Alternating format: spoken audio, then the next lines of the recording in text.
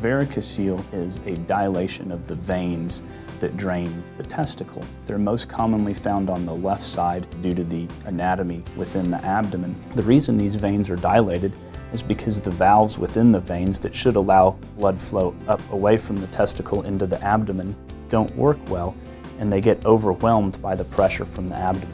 This pushes blood back down those veins, causing dilation and stretching of the veins.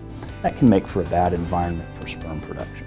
He might not know that he has a varicocele at all, but when they come to the office for an evaluation of infertility, that's one of the things that I look for on exam, and I can point that out.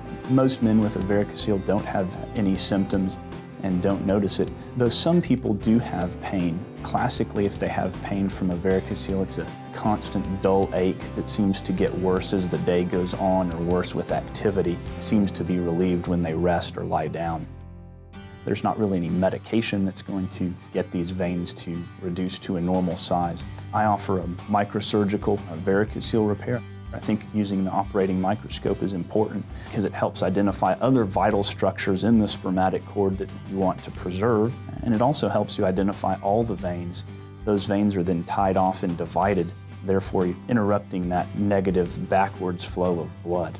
Patients always ask, well, if you divide all the veins, what's going to happen to the blood? The blood still finds its way out of the testicle through alternate channels, and they do just fine.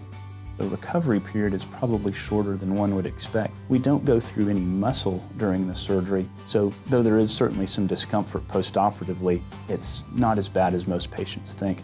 Patients often tell me they needed the pain medication for the first two or three days and then they didn't even need that. I request that they not go back to any real strenuous activity for several weeks. Not everybody with a varicocele needs a varicocele repair.